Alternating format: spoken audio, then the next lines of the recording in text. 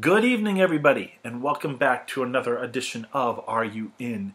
Now, we are almost halfway through the year with June finishing up this weekend, uh, but I didn't want to leave it without talking about one more album for 2017 before we go on to some new stuff. Um, and this one's going to be awesome. Uh, this is another one of these albums that I listened to after 2017, uh, and if I did listen to it during then, it would have made my list. A friend of mine from work told me all about it, showed me a couple of their songs, and uh, I listened to it, and uh, I have a lot to say, of course. Um, unfortunately, I wasn't able to get her to join me for this album review as my special guest, but it's all good. Uh, we'll carry on without her. So, not dilly, dilly dallying. The album that I'm talking about tonight is uh, the Dirty Projectors' newest album entitled Dirty Projectors. Uh, now, if you don't know who the Dirty Projectors are, they're an indie slash art rock slash electronica band from Brooklyn, New York. Their lineup has had plenty of iterations over the years, but currently it's just David Longstreth with a couple of additional member uh, musicians on the album to help out. Uh, the previous studio albums include The Glad Fact, 2003, as well as Morning Better Last in 2003. Slaves, Graves, and Ballads in 2004, The Getty Address in 2005, Rise Above in 2007, Bitte Orca in 2009. Don't know if it's Bit, Bitty, I don't know. And Swing Lo Magellan in 2012. Um, now, I have heard of this band before, uh, but never really listened to them. I believe I have heard of the, the album Swing Lo Magellan, and I'm pretty sure it got some pretty good reviews. Um, but I had not listened to any of it, like I said, until my friend uh, showed me a little bit of it on uh, away home from work when we were uh, driving, and she was like, "Hey, I gotta show you these two songs," uh, and you know, I wanted to check it out. Uh, so, how do I like it? Well, if I say it's in the top 50, of course, that means I like it. But why do I like it? Well, um, this is a one of the best breakup albums that I've heard in a very, very long time. Um, this is a beautiful, beautiful album. And for for those of you who don't know like the background of it, um, this album itself um, is about um, David Longstreth's relationship uh, with Amber Coffman, who was a member of this band. Um, and they were together until uh, not too long ago. They broke up. She went there. She went a separate way, and he kept this particular band.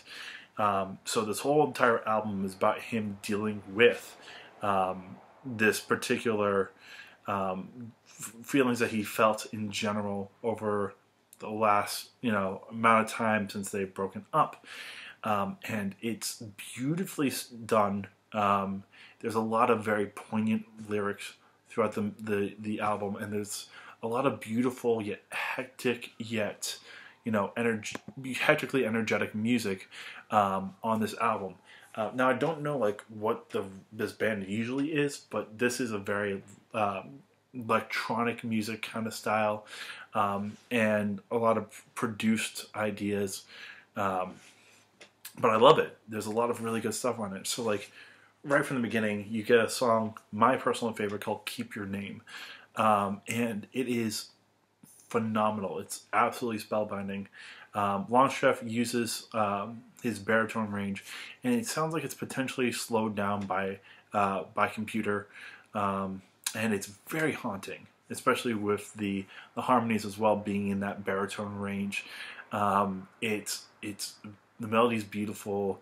Um, the music behind it is is uh, subdued at first, and then eventually um, picks up a little bit, especially during the bridge where you pick up the pace a little bit and, and it's a little bit more spoken dialogue um, uh, with him. It's almost like um, he's a beat poet at this point, and it's talking about his relationship with Coffman, and even uses a uh, sample from um, another song from the Dirty Projectors, which it like hints at at uh, his relationship with Amber called "Impregnable Question." It's a warped sample of it um, that uh, is so interesting on there that you know you wouldn't have known it until you know you you looked it up, or if you are a huge um, Dirty Projectors fan, you might have known it. But like just the raw motion of it, of just talking about uh, going your separate way and saying that you um, they, they'll keep on separate, but you keep your name. Um, just it, which is like, what do I have? Like, what do I get to keep? Um, and it's a, a, very interesting way to start this album. And then you get onto something like Death Spiral, which is another phenomenal song. Um, it does get a little bit weird in the bridge because of the auto tune stuff. I personally don't like it that much, uh, but it's just another. It, like it goes from um, from you know keep your name being like this slow paced song and a burner to this more upbeat electronic um, piece with some violins and piano some percussion. Uh, it's just hectic and beautiful at the same time.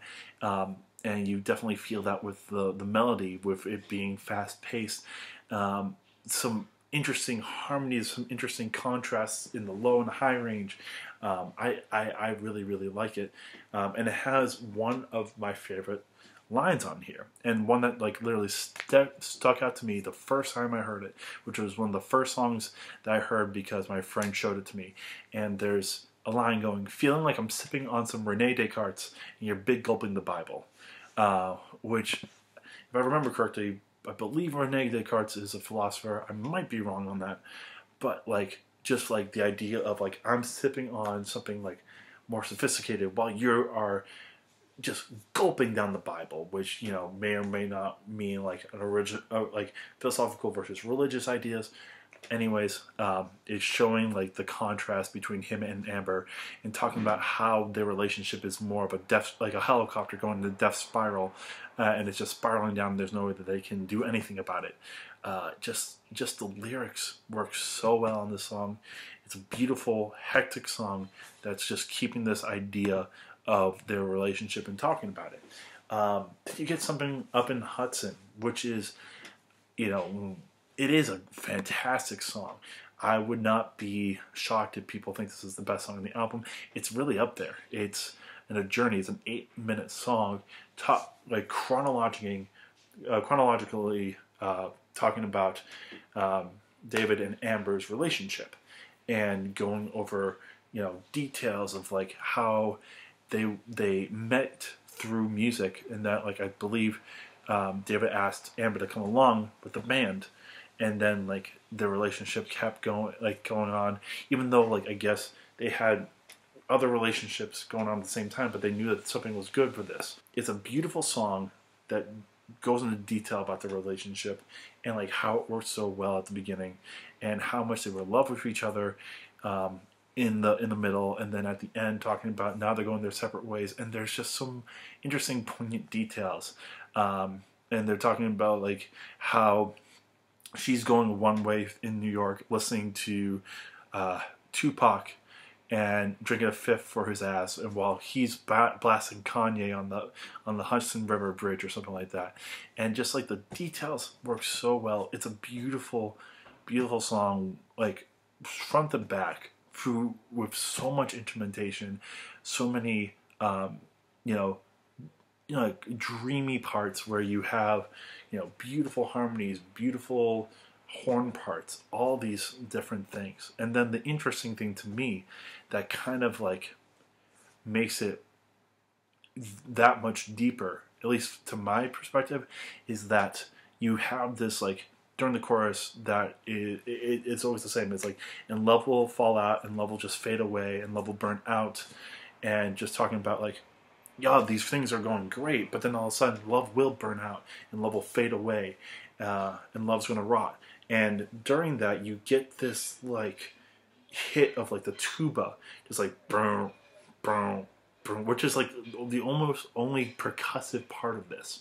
And it's kind of like, like yeah, this is great, but snap back into reality of like this will happen eventually, and it, it might be either uh, David's feelings during the relationship being like, this will fade eventually, or after the relationship and being like, wow, this ha- this happened, but we knew this was going to end eventually, um, and snapping back to reality while he's pondering this.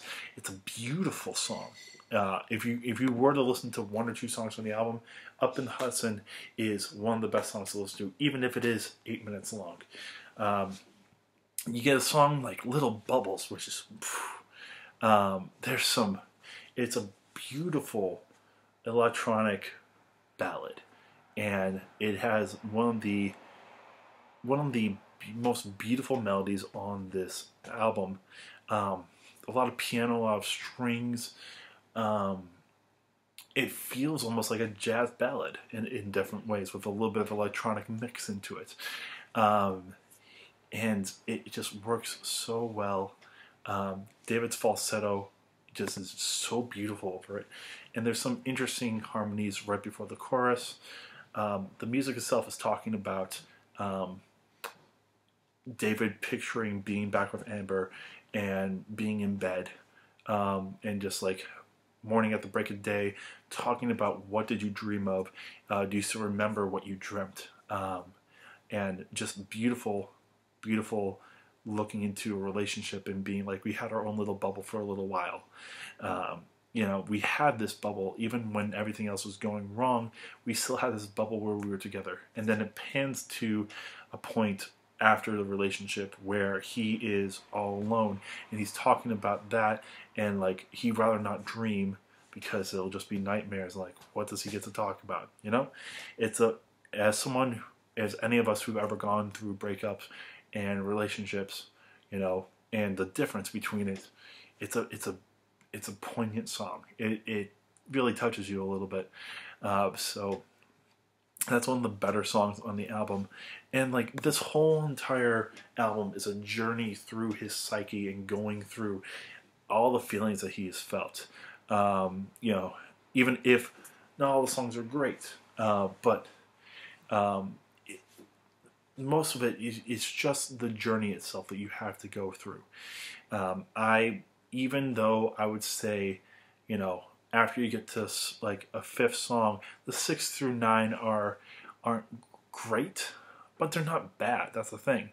Um, I would say the next best song is "Cool Your Heart," and it it has this kind of um, kind of like ska-ish kind of feel, this island kind of feel, and it's a interesting song um, that kind of takes away from this um, I guess it kind of takes away from the message of it. I, I don't know how I see this in terms of everything else. I guess it would just be like him start trying to start anew because it's the second to last song on the album. I guess it's him trying to love again, um, and I do like the little touch of like "Lost on the Sea of Love" motifs uh, that work with this island feel, this reggae feel. Dawn Richards is also on this, and she does a great job, uh, especially during her harmonies on the chorus and as well as this call and response thing that she does with David. Um, but it, I mean, it's a it's a weirder type of song comparatively to everything else, but it's also a very nice song. Um, but then like everything else is kind of eh for me. It's not bad. It just doesn't do as much as everything else. So you got the last song on the album, I See You, which is a, a very optimistic way of looking at the future for him um, the the music is slow and simple, giving room for the reflection, and hopefully a start of a new chapter for him. Um, and it's nice how like how the the music is more positive on this this song, even though I don't like most of the music on it. Um, but it's a nice part for self reflection, and now he's seeing that the these the image of this person is now fading away and coming back into something more of a person rather than the relationship itself. It's it's a nice poignant way of ending it. Um, I just I don't know the music for me doesn't work as well as some of these these other ones. It's not as interesting. Um, Ascent Ascent through Clouds is another one of these interesting songs that are multi-layered, um, which has more of a like acoustic guitar, Bon Iver kind of feel at the beginning, and then it's kind of like this, um, this like look into his psyche where it's kind of like his left and right brain are talking, um, and it's it, it's it gets a little bit faster, and and and each side is kind of talking about how they feel in one way or another. It's an interesting song, but again, not one of my favorites. You get also something. The other two, honestly, to me, are kind of just out there, work together. It's a little bit really out there uh, for for the beautiful piano intro that it has. It just gets very very weird. It almost sounds like a lot like um, like like what I talked about in my top ten albums of 2017, Jlin. It kind of feels like that type of percussive kind of sound, um, and it just doesn't work for me at all. Um, but it's not. It's a good experimentation. I just don't really like it. It's just really out there. Um, and then Winner Take Nothing is kind of that really forgettable song to me, uh, even though it's talking like the, the lyrics themselves are nice, but it's kind of really forgettable for me. Um, but again, this isn't an album that you listen to um, piece by piece. This is an album that you need to listen to front to back to feel everything that's going on. And, you know, it's a very poignant album through and through. Like, this is David's, uh, you know, um, thoughts and feelings after breaking up with Amber. But this, these thoughts and feelings, I definitely have felt them through uh, relationships and through uh, breakups, and I bet you a lot of other people have as well. Uh, so you know, it, it's it's his own um, experiences, but those experiences are so relatable, and that's what I love about this album is that it takes these poignant lyrics, this this interesting and complicated music, and it makes it so relatable to everybody else. So, you know, if you've been through breakups or if you're going through a breakup right now or you are, you know, feeling alone, all those things, definitely take a listen to this. Um, especially for the arc. It's a, it's a beautiful arc. The music is well done. It's only nine songs long. It's probably about like 40 minutes, but like it's definitely worth it. The beginning, the beginning couple tracks sell me on it, and then everything else is just that, you know, it's just um, you know, adding a little bit more. It's layering a little bit more. Even if I don't think the payoff is great, I think the lyrics are great. I think the message is interesting, and it's a, an album that needs to be listened to. You know, even if you aren't going through breakups, if you like interesting electronic music, or if you like an interesting concept album, give it a listen. I, I think you will enjoy it. Um, I probably would have put it in my top 20 for the year if I had listened to it. That's how good it is. So thank you so much, uh, you know, uh, for taking a listen to this, and also thank you to my friend for uh, re- recommending this album to me because I think it was right up my alley, and I think it was perfect. Um, you know, there are some downsides to it, but I think the the the, the whole outweighs the the sum outweighs the parts. You know. So this is my last album I'm talking about for 2017, and I hope you enjoyed it. I hope you know, if anything, I hope I gave you an album to listen to that you may not have listened to, especially with the 2017 albums. Maybe you found something interesting that you didn't listen to before. If I can do that, then hey, I'm doing my job. Uh, now, the interesting thing is, Dirty Projectors are also putting out a new album literally a couple weeks from now. So I will be talking about that. Maybe I'll bring my friend on if they're available. And, you know, from the two songs I've listened to so far, I'm really curious about this album. I think I'm going to like it a lot. Um, it seems a little bit more upbeat, at least. Uh, so that is my time. If you like what I'm talking about, of course, a like it, like this video, so that you, I know that you enjoy what I'm talking about. Share it with your friends so they may have something new to listen to. Um, you know, comment on things I can do better or albums that I missed in 2017 that maybe didn't make my top 50 that I need to listen to.